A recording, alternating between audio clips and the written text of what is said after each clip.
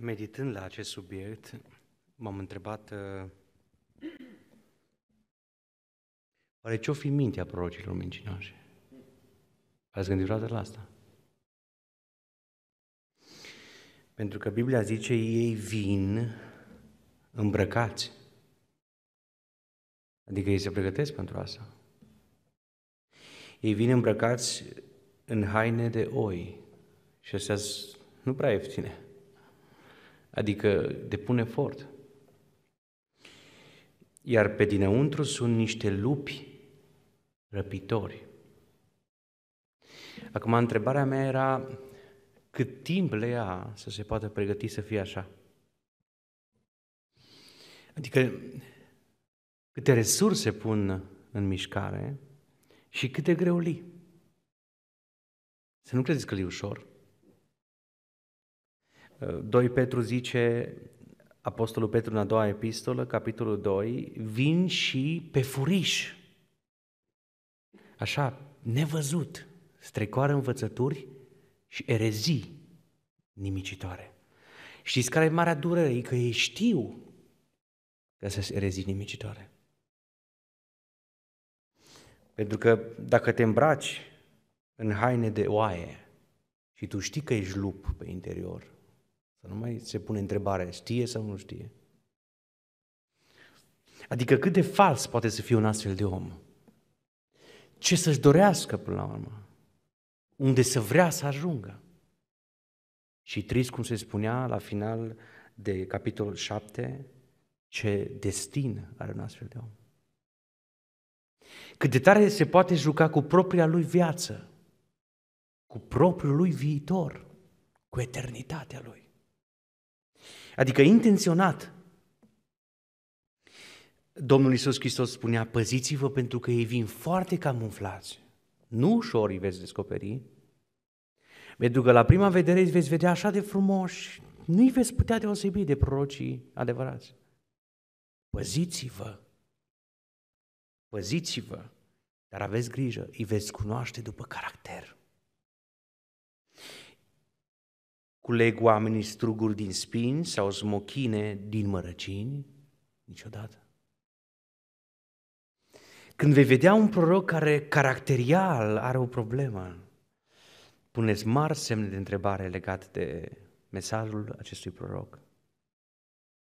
Și cât poți, păzește-te din astfel de proroc. Tot legat de asta mă gândeam cât de frumos și cât de fascinant este când Dumnezeu vorbește adevărul. Să nu-ți programezi asta, să nu știi nimic despre asta și Dumnezeu să-ți vorbească într-un mod supranatural, exact în momentul oportun. Poate când ești pe buza prăpastiei și poate chiar când ești cu mâna pe clanță să deschizi ușa care nu trebuie să o deschizi. Să vină un mesaj de la Dumnezeu adevărat și să spună oprește-te, ești pe drumul interzis.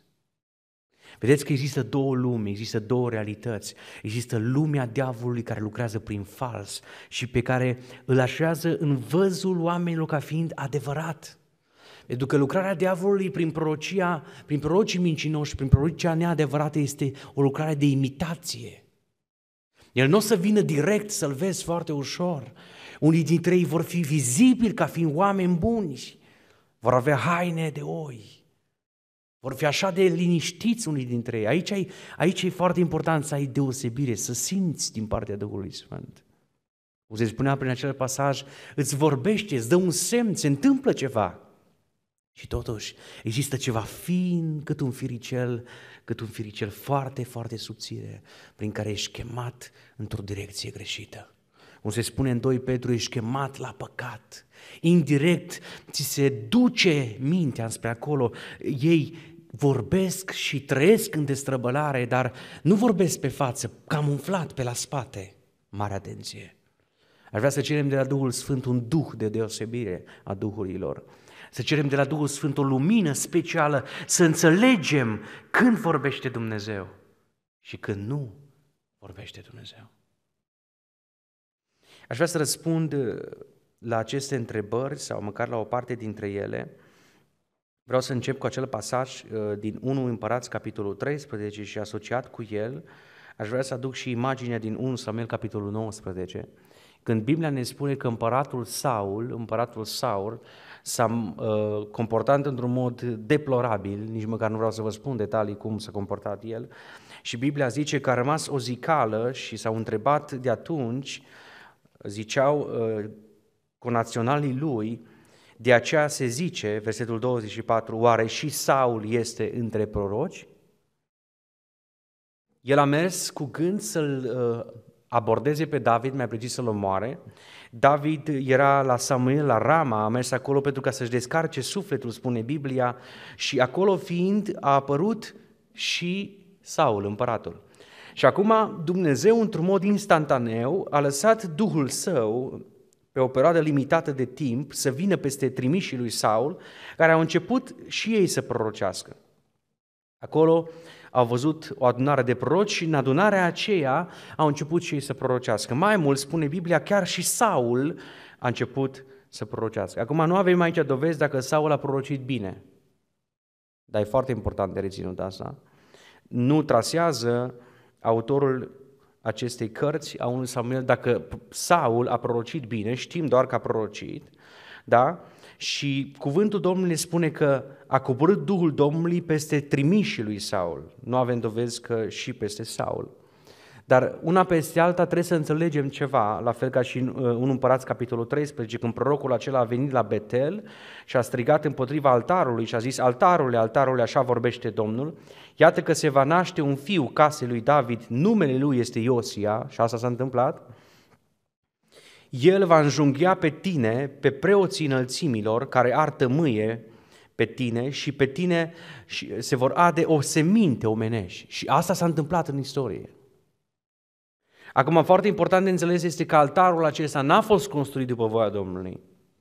A fost construit de Ieroboam pe vremea lui într-un mod uh, nebiblic și mai mult decât asta, prorocul când a venit a transmis un mesaj care s-a împlinit, dar trist este că la întoarcere, deși prima dată n-a vrut să intre în nicio familie, să poposească în vreo casă sau să mănânce, să rămână, să găzduiască, da? a venit un alt proroc, da? un proroc care era mai în vârstă și prorocul acesta a venit și a spus, și eu sunt proroc, ca tine, un argument interesant, versetul 18, 1 împărați 13, și un înger mi-a vorbit din partea Domnului și mi-a zis, adu acasă cu tine ca să mănânce pâine și să bea apă.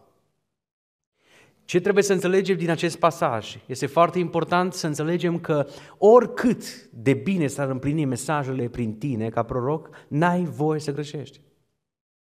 N-ai voie să faci o greșeală abdicând de la cuvântul lui Dumnezeu. Adică în viața ta personală n-ai voie, cum se spunea deja, să îți permiți păcatul.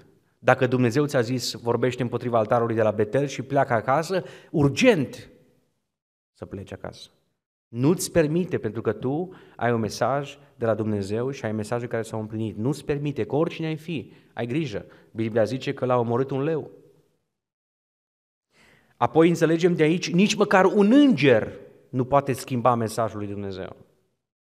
Da? Nici măcar un înger venit din cer, arătat într-un mod supranatural, adică orice s-ar întâmpla în jurul tău, n-are voie să-ți schimbe mesajul pe care l-ai primit din partea lui Dumnezeu.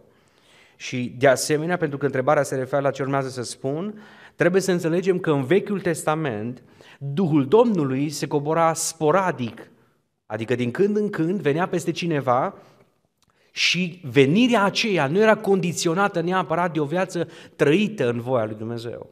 Așa se explică faptul că Duhul Domnului a coborât peste trimeșii lui Saul, așa se explică faptul că Duhul Domnului a coborât peste Saul chiar, și așa se explică faptul că acest bărbat proroc, deși a mințit, ceea ce a spus el s-a împlinit. Ei, în epoca Noului Testament, coborârea Duhului Sfânt peste un om este condiționată de nașterea din nou. Botezul cu Duhul Sfânt nu poate să fie realizat în viața unui om peste o persoană dacă persoana aceea nu a trecut prin experiența nașterii din nou. Dacă viața lui sau viața ei nu a fost convertită supranatural, fundamental, dacă n-a devenit o făptură nouă în Hristos, persoana aceea nu poate avea un dar profetic. Nu poate avea un dar de prorocie. Nici într-un caz să aibă o slujbă de proroc. Este foarte important să reținem că în Noul Testament, pentru că este opera mântuitoare al Domnului Isus Hristos la mijloc și pentru că iertarea se oferă prin credință în sângele lui Isus Hristos, printr-o transformare din interior spre exterior și asta nu mai presupune realizarea unor jertfe, a unor ceremonii religioase și a tot ce însemna în Vechiul Testament iertarea, pentru că în Noul Testament iertarea este condiționată de sângele lui Isus Hristos. Noi nu putem să acceptăm ca în epoca contemporană, de la Noul Testament până azi și până când va reveni Domnul Isus Hristos, cei ce au dar de prorocie să mintă. Nu acceptă Dumnezeu așa ceva. Totul e bazat pe Scriptură. Dacă îmi găsiți un proroc care a devenit proroc înainte să fie născut din nou, s-ar putea să mai discutăm pe subiectul ăsta, adică să fie discutabil ce spun eu, dar nu, vă ve- nu veți găsi nicăieri în Biblie un om care să aibă un dar supranatural de la Duhul Sfânt, care să nu fi avut mai întâi o naștere din nou. Îmi veți spune, Caleb, ce cu Corneliu? Că a avut o vedenie. Așa e că vă venit în minte. Interesant. Da, Corneliu a avut o vedenie, adică o imagine în care i s-a arătat Domnul Isus printr-un înger, i s-a spus rugăciunile și milosteniile tale au ajuns până la Dumnezeu și uite ce trebuie să faci. Nu i-a dat toată rețeta, l-a trimis la un om al lui Dumnezeu și imaginea aceea n-a fost un mesaj profetic pentru alții, a fost o arătare în dimensiunile acelea, sub forma aceea a lui Dumnezeu și a voii lui Dumnezeu pentru Corneliu privat, într-un mod privat. Când Saul din Tars a avut o descoperire dumnezească pe drumul Damascului, I s-a arătat chiar Domnul Iisus Hristos într-o lumină strălucitoare, din cauza luminii au căzut pe ochi niște solzi, n-a mai putut să vadă, da? A avut o vedenie, spune acolo cuvântul Domnului, și l-a văzut în vedenie chiar pe Anania. Rețineți că tot ce a văzut, tot ceea ce i s-a întâmplat lui Saul din Tars, a fost cu caracter privat. N-a fost o descoperire dumnezească pentru alții. Adică în acel moment nici Corneliu, nici Saul din Tars nu avea dar de vedenie, nu avea dar de descoperire, nu avea dar de vorbire despre înțelepciune, nu avea darul spiritual al Duhului Sfânt. În acel moment, atât Corneliu cât și Saul din Tars au primit într-un mod privat o descoperire dumnezească. Cum la ora actuală, între musulmani, între musulmani, li se arată Domnul Isus Hristos pentru că altfel unii dintre ei nu ar crede niciodată în realitatea creștinismului. Și când li se arată Domnul Isus Hristos, după această arătare privată, ei se întorc la Biblie, se întorc la cuvântul autentic al Domnului Isus Hristos, îl întâlnesc într-un mod real pe Domnul Isus Hristos, îl experimentează, îl proclamă ca Domn și Mântuitor și după ce sunt născuți din nou, după ce coboară Duhul Sfânt și îi botează, Dumnezeu le poate da și lor daruri supranaturale. Rețineți că niciodată, nicăieri în Noul Testament, nu veți găsi un alt mod de a lucra Duhul Sfânt. Deci Duhul Sfânt în epoca Noului Testament și în prezent lucrează condiționat de sfințirea vieții. Celelalte pot fi experiențe, pot vorbi oamenii din rutină, pot vorbi oamenii pentru că s-au obișnuit să spună pentru un caz anume un mesaj anume, dar nu este cuvântul lui Dumnezeu. În Vechiul Testament se întâmpla diferit, venea Duhul Domnului din când în când peste cineva, pentru că avea un scop precis de a realiza un eveniment, o situație anume și, de exemplu, în cazul acela de, cu Samuel, Dumnezeu a intervenit pentru ca să-i taie calea lui Saul da, și să nu-l omoare pe David i-a scăpat viața într-un mod supranatural. Este posibil ca prorocul să nu înțeleagă bine vocea Domnului și să dea drumul unei prorocii greșite, deși el nu este conștient de asta. Uh, așa cum spunea fratele Daniel, înainte ca un proroc să dea drumul unei prorocii, el trebuie să fie convins 100% procente că Dumnezeu are în plan să vorbească prin el prin prorocie. De obicei, prorocii, din experiențele lor, am înțeles, primesc un semn privat. Un semn privat pe care îl știu doar ei, nici măcar partenerul de viață, doar ei și Dumnezeu. Când li se arată acel semn, ei sunt convins că mesajul care urmează să fie transmis este din partea Duhului Sfânt. Recomandarea noastră este următoarea, întotdeauna când cineva simte că Dumnezeu vrea să vorbească prin el sau prin ea, să își aleagă un timp anume, un timp anume, în care într-un mod exhaustiv, poate chiar scris într-o agendă, o agendă privată pe care să nu o citească nimeni, și acolo să scrie toate mesajele pe care le-a primit de la Dumnezeu. Spre exemplu, a fost un caz de boală în uh, imediat apropierea acestei persoane și Dumnezeu i-a vorbit că acea persoană se va vindeca. Boală, nu mă refer că tușește cineva puțin, nu e vorba de COVID, da? Ci mă refer la o boală gravă, spre exemplu cancer, nu știu, situații dificile și acestei persoane Duhul Sfânt i-a spus că acea persoană bolnavă grav se va vindeca.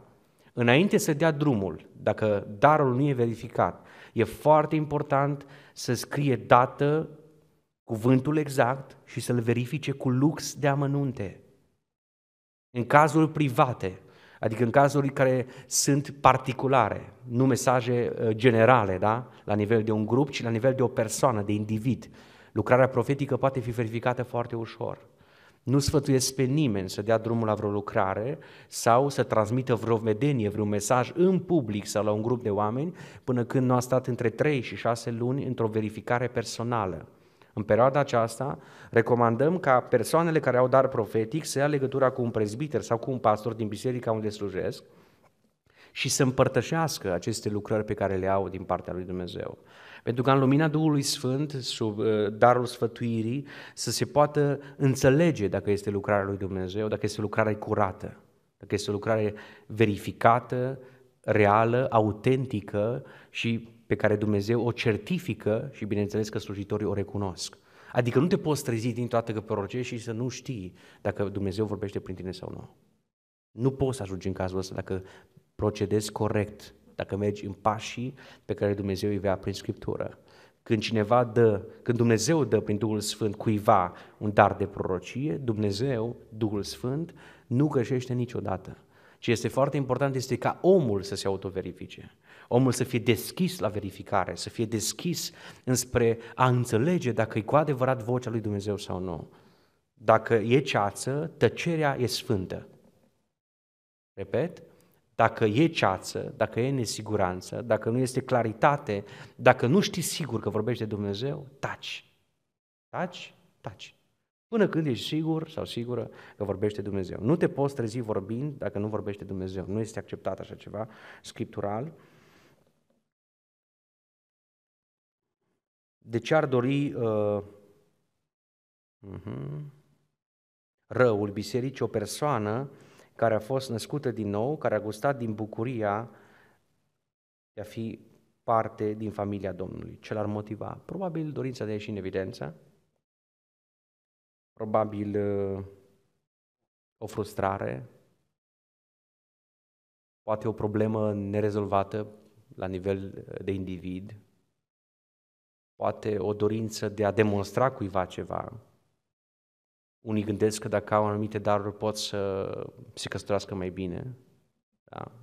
Probabil că sunt astfel de cazuri. Nu aici vorbesc în general. Și multe alte motive care toate sunt diabolice.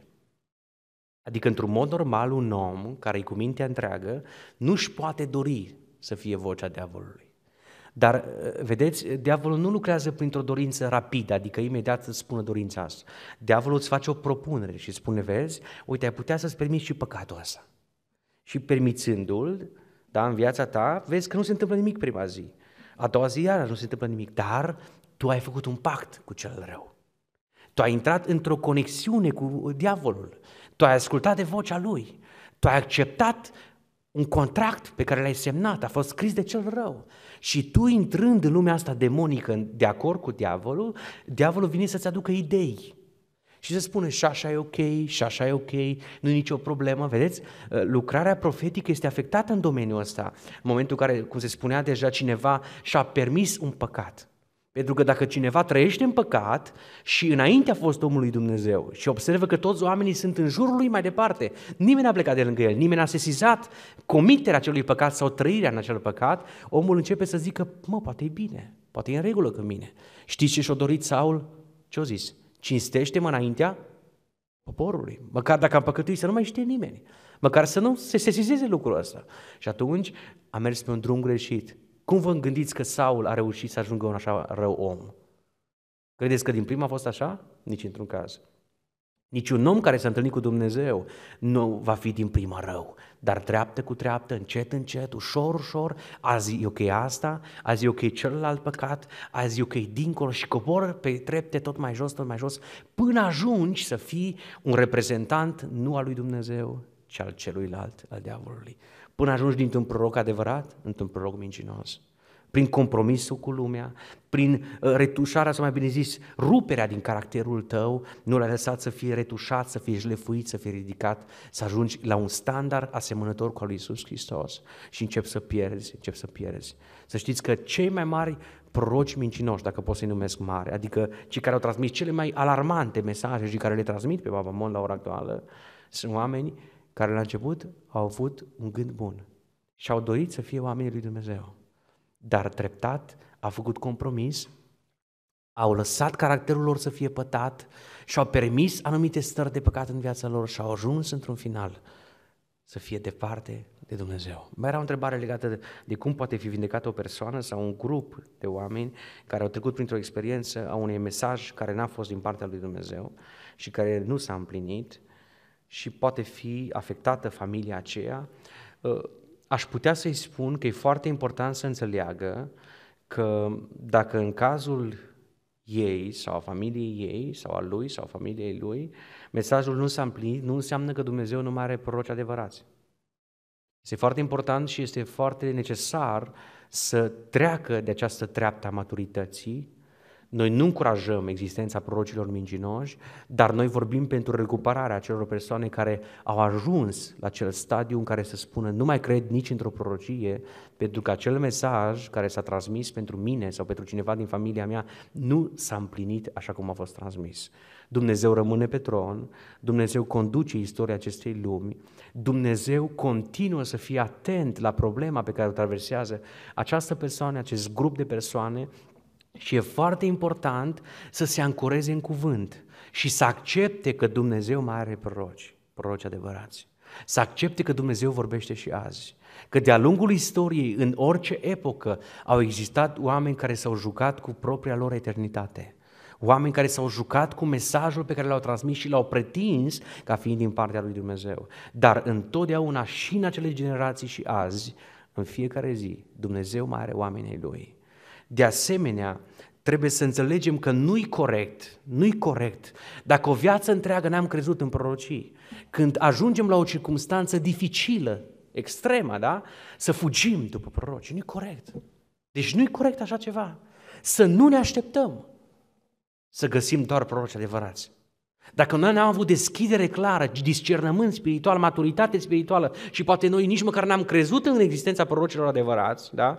când ne-a fost bine, sau poate chiar pe prorocii adevărați i-am prigonit și din toată când am dat de greu, repede să ne vorbească Dumnezeu. Mare atenție! Noi trebuie să fim într-o continuă căutare a vocii lui Dumnezeu. Noi în fiecare zi trebuie să căutăm fața lui Dumnezeu. Și vreau să vă spun, bazat pe această carte, Dumnezeu vorbește și azi.